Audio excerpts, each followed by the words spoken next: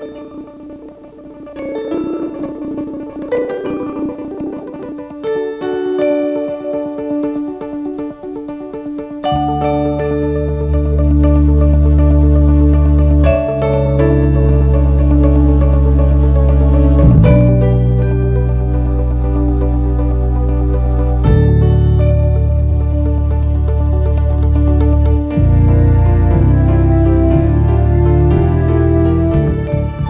Shirley Adams for the Sewing Connection, Series 16, Program 13.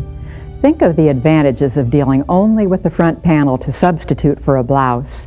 A small amount of fabric will do, and you probably have a wealth of these in your stash waiting to be used.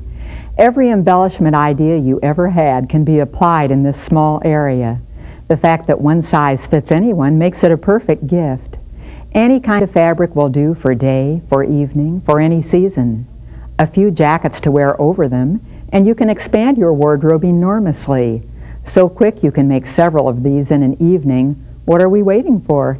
In Series 12, I did a bunch of these in abbreviated form. Several of your letters objected to the fact that you wear your jackets open. They need to be bigger, and so these are. In Series 12, those were really quite small and they needed to be worn only a jacket under a jacket that was buttoned in front. Uh, in fact, this is the way they look, this little shield pattern once it's opened up, it's doubled up here. And so these are considerably larger. By the way, this is what some of them looked like. I had probably about 30 of them then, and maybe a lot more now. But uh, you might do all kinds of things like embroidering, or maybe just putting some lace together, or making some holiday things. Or back there with the green suit, you see that you can just wear a jacket open, and instead of having a blouse, have that pretty little cut work thing uh, snapped in the uh, neckline. So these are really useful. But what happens to those people who want to uh, wear their jackets open? The joke with Series 12 was no matter how hot it gets, don't open your jacket or don't take it off. Well, we can open our jacket now if we just have a longer one, but here is another one of the fronts from Series 12, and you can see you can't wear a jacket open with that. So we need to do something a little bit bigger, and that we will do. Now here's the size of the one that we're going to make this time. So this you can see will cover the whole front. It goes all the way up to your neck, and uh, it's wide enough that your jacket can blow open a little bit, and you still have enough. There's plenty here to tuck inside your skirt or pants, and so everything will stay in place really well. And this is a great way, as I said, to use all your embellishment ideas. Well, you've already been seeing a few of these. Now, all of these things that I'm going to show you were cut from this pattern, and you've seen a few of them the last couple of programs. This one, for instance, last week when I was working with bias cut tubes and fast turns, I did a little passementerie, and this makes a nice one. Uh, this also was from last time, and a lot of these tubes are just hanging here, connected to the sides. At that time, I guess I didn't tell you what it was. Uh, another program, a couple before then, uh, you saw this one with the fans on it. This was cut work embroidery, and uh, here's another one that you saw at that time. But what you didn't see is the back sides of these. So let me show you the back side. Now this green one has no back side because it's a sheer fabric, and so we just left it that way. One side only, except it does have a second layer for a lining. Uh, here's one that does have a back side, and what I have on the back side is another memory card I've used to do some pretty embroidery there, just choosing whatever colors you like, whatever's going to go with what you are wearing. On the back side of this one with the fans, we have some pretty um, shantung here, some silk shantung. Well, that goes very nicely with twin needle pin tucking. And so there are just a few scrawly lines around here using twin needles and just going in any curvy direction you want to and swirling around here and there. Pretty little thing. And uh, what I have on the back side of this is another little bit of embroidery from a memory card, uh, just because I like the play of those pretty threads on the fabrics. And notice that all of these have snaps on the top. And notice that it is a different snap because I realized in Series 12, after I got through, I had a whole box of the ones that weren't used. The other side of the snap, because I only had one part of the snap inside the suit, and then I put the other part of the snap on all the insets and I had all these extras. Well, it hit me, why don't I use the whole thing instead of having all this waste?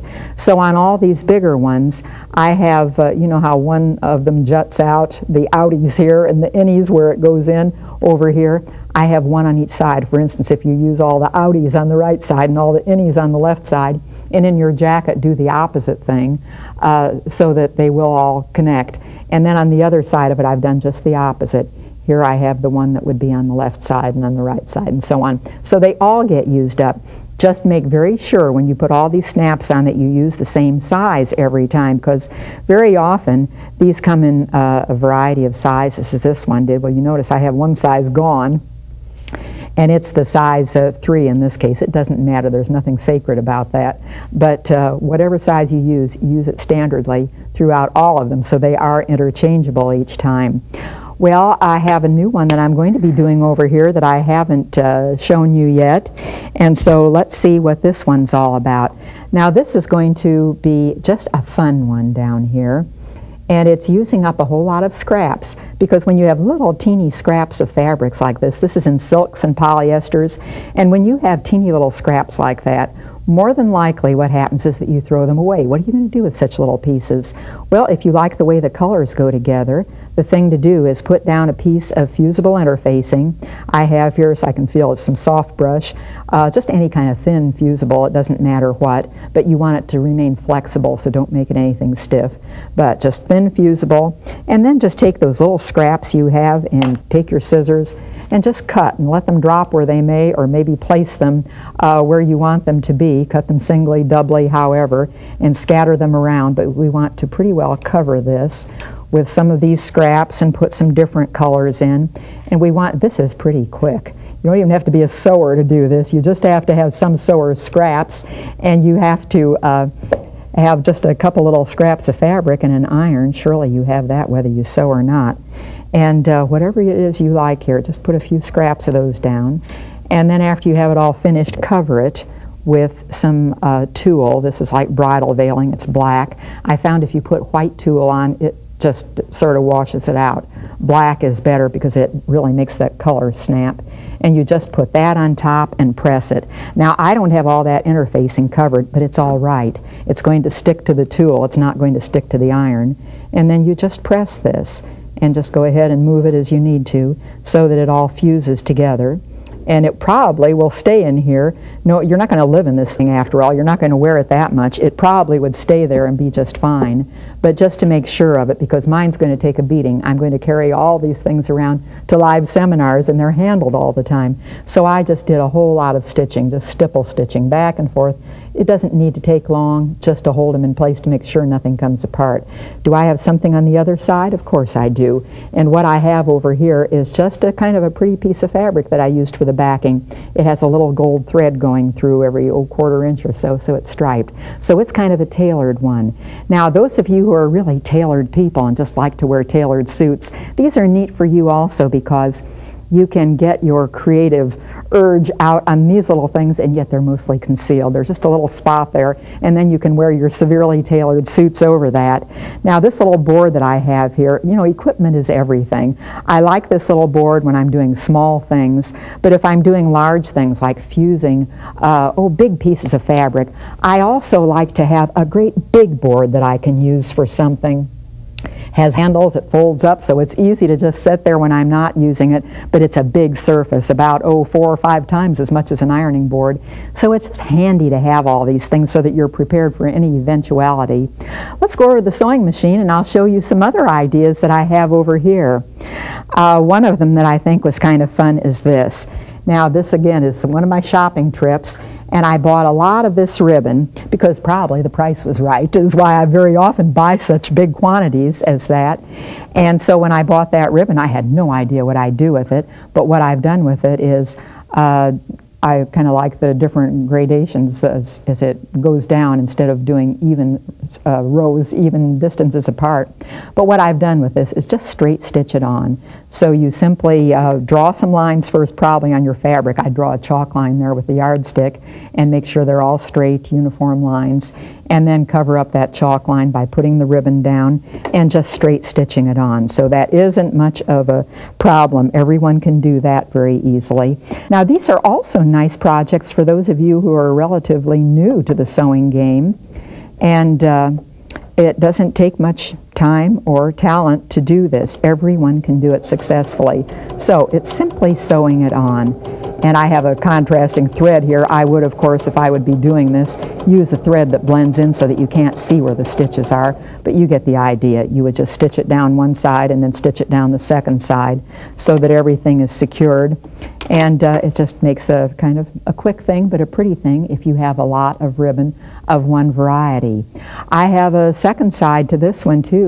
They might as well be reversible unless there's a good reason for not reversing them, such as um, kind of transparent fabrics or something you wanted light and airy. But this is reversed. And what I have reversed this to do is use this. Another one of my little shopping excursions, I found a quantity of this trim that uh, I thought, well, that's going to go on something, who knows what, but eventually. So what I did is just put a row of this down, and I kind of ran out of it down there. At the bottom, it doesn't have any design, and it really doesn't matter because my waist is about here. The rest of that will be tucked in the skirt anyway, so it doesn't make any difference. But the problem was that the edge of this, of course, isn't very pretty. What are you going to do with it? Let's do a little decorative stitch is perhaps the best thing to do to attach this on. While we're talking decorative stitches, I want to show you something over here that I just love. I just got this box of the twist threads. They kind of are blending threads. There are two colors that are twisted together in all of these, in most of them anyway. And so this can do some pretty things. But also what I'm ready to do on another one of these fronts is this is striped thread. And what it does is make bars. I'm just going to set it as a bar, just do satin stitching, a wide satin stitch. And what that stripe will do is for, oh, maybe about an inch, it'll be pink, and then it turns into purple for an inch, and so on. And so that's going to be pretty. The ideas for this are endless, and this little project is just the perfect place to put some of your ideas. Well, what I want to do on this is what I did on the one I already have done, is a Greek key design. So let's go to that one. I'll have to go back to the menu because it's a higher number, and I don't have it on this particular one. So it's still ordinary sewing. It's the decorative stitches, though, and it's 131. I see up here, didn't I? Yes, right here, and it's 131 that I want. So I'll just keep progressing until I get to 131. Oh, there are so many stitches here. I could make these uh, little fronts for a long, long time before I run out of decorative stitches alone. Well, anyway, here's what I want right here. So I'm ready to do that Greek key design. And uh, they advise that I use the F foot, so I better put that on instead of the straight stitch foot that I have. Okay, here is my F foot. That's the plastic foot. And what especially this F foot does is there's a little channel underneath. Instead of it being a very flat platform, there's a little indentation underneath, and it allows for, oh, if you do a dense pattern, a dense design, or a dense uh, uh, decorative uh, stitch here, then it accommodates that because there's room for it under the foot. But this one is not dense, it's just a flat one. But what I'm doing is just covering the raw edge. And all you need to make sure that you do, it does its own thing. You just need to guide it enough so that this little V that's right in the center of the foot, so that that goes right down the edge of the fabric, and that will ensure that you're half off and half on the fabric that you're appliquing to it here. Now you could even fuse this on. I didn't want to do that because I want to keep these soft. I don't want to stiffen it. And even the lightest weight fusing stiffens a little bit, so I'll keep this one just soft. But uh, I did the original one, the completed one, I did in gold in metallic thread.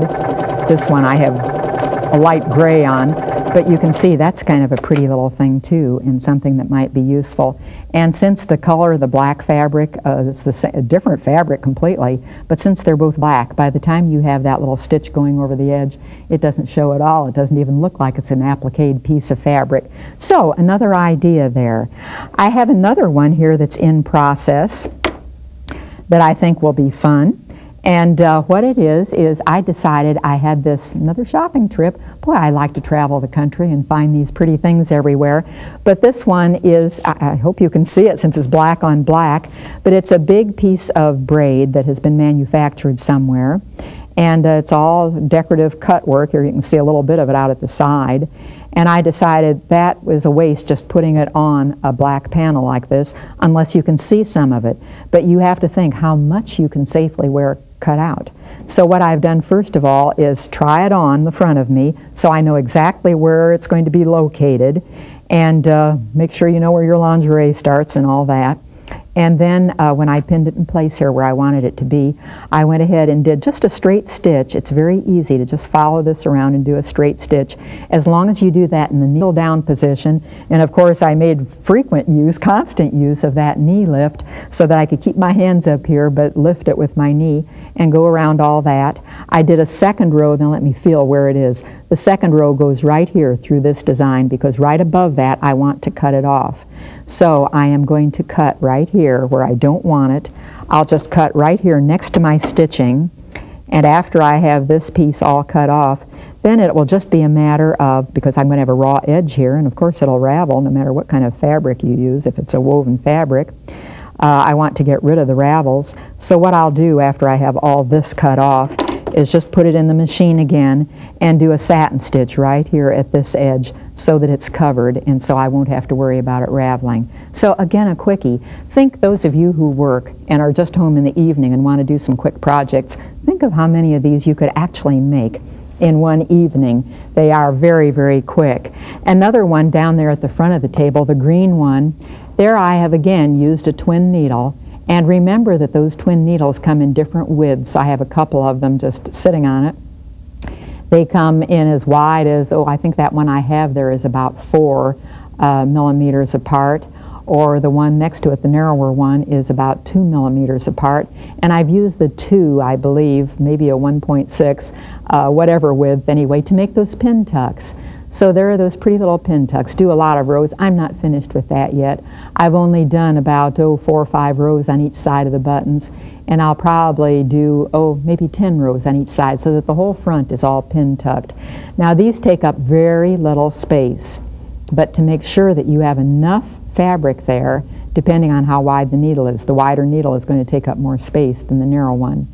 But to make sure you have enough fabric, it's not a bad idea to uh, cut out the fabric after you have it all uh, pin tucked and then cut it later or else cut it a little wider to begin with to make sure that you have plenty there. And then after I finished, I sewed on those buttons and I'll sew on several more. I'm going to have a whole row of buttons. Now this is a great way to use a lot of buttons. I would never care, like on a wedding gown, to have a million little button loops to button there. Who has time for that? But when they are non-functioning, they make a pretty little touch there. And because they are non-functioning and because they're just going to sit there, make sure you use buttons with a hole in them so that you can just bar tack them on by machine and not have to do that by hand so that it doesn't take any time. The next one that I'm in the process of doing but haven't quite done yet is another braid I found in my uh, travels. And what this one is, well, it's a big wide embroidered piece. And you have to study things like this for a while to decide what you can do with them and how to make them work to your advantage. What I decided I would do with this one to make a whole front out of it is to put the rows together. And so there you have to consider too, what's going to be the prettiest to put it together. For instance, if you just put it randomly any old place, it doesn't make much sense. It just sort of distorts it and doesn't really look nice. What I have done with this is press under a seam allowance on the raw edge. It's ravelly because it's the raw edge, but I've pressed under a seam allowance that's oh, about 5 eighths so that the edge of it, the pressing line, the fold, comes right to the edge of the decorative work here that's already been embroidered. And uh, what I'm going to do with this then is overlap the other piece that still has its raw edge. I'll overlap this and move it along until I find a place that it does make sense, like right here if I would put it right there, this little teardrop, this little paisley design would just continue. And this makes sense to me anyway. Whether it does to you or not, I don't know. But I kind of like the way that produces some continuity. That also makes these big uh, paisley designs right opposite each other. But anyway, I like the way these then connect by the time it's all stitched down. And how I would stitch this is to get it right in place. You might even put some scotch tape across here, some lightweight tape so it, you don't have a real heavy uh, taping on it. You might do that, or you might just work with pins. But what I would want to do is work inside here so that my pins would be right on that pressed fold that I've done. And after I have them right on that crease, then you can simply sew right down that crease. Use that as your stitching line so that when you get through with the sewing, whoops, I didn't quite catch it. When you get through with the sewing, though, it will be just lined up the way you want to and everything will turn out perfectly. Uh, you might do more rows than that if you want to, or maybe put one of these rows in between. Do something pretty. It's amazing what you can do if you find these and uh, especially if you can find them at a good price. Get in touch with the other sewers in your area to find out where you can get such goodies. Maybe it's a manufacturer's outlet, but surely someplace you can find them. Another one I'm in the process of doing but haven't quite yet. I just started this one. And another neat purchase I made in some uh, outlet shop.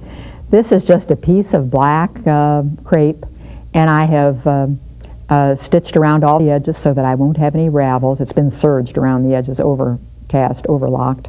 And uh, the reason I did this on the bias, which is what it is, it's a big bias cut, is because it's going to be a cowl neckline to go inside one of the suits, the black suit. It'll turn that very tailored black suit into something for evening.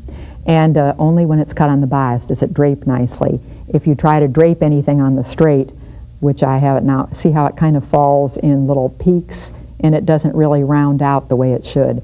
So if you want it to drape, you always cut it on the bias because then it softly drapes. And what I'm going to do with this is just so I'll fold under the top edge so that the ugly top part is out of the way so I just have a nice fold. And then I'm going to take these beads that are on a braid and uh, it'll be a very quick job to just sew this straight across and I'll probably sew, oh, about three rows of this. I'll sew a row here and a row right under it and a third row. And these are kind of heavy. And by the time this is then snapped inside the jacket, it'll really make it droop nicely and just drape beautifully.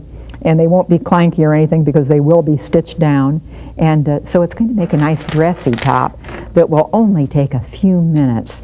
So again, so I could make easily, and so could you, a half dozen of these tops in an evening because they take so little time.